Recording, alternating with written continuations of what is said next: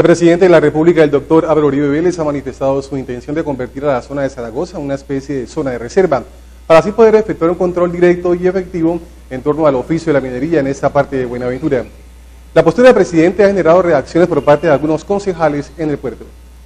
Frente al pronunciamiento del presidente de la República, Álvaro Uribe Vélez, de tener como prioridad, antes de culminar su gobierno, declarar a Zaragoza como zona de reserva, consultamos con algunos concejales frente a qué opinan sobre la decisión e indicaron que primero se debe conocer cuáles son las verdaderas intenciones del presidente. Hay que mirar de qué forma conviene hacer la zona de reserva forestal, puesto de que hoy en día tenemos 25 kilómetros aproximadamente de la extracción de oro y hay que mirar de qué forma conviene a los habitantes, a la gente que está haciendo hoy la extracción, pero a los pequeños, a la gente del barequeo, que no le vaya a afectar tanto. Habrá que conocer en profundidad la propuesta del presidente. Yo creo que una zona de reserva es cuando hay un interés de conservar algún interés estratégico eh, biológico en especial, ¿no?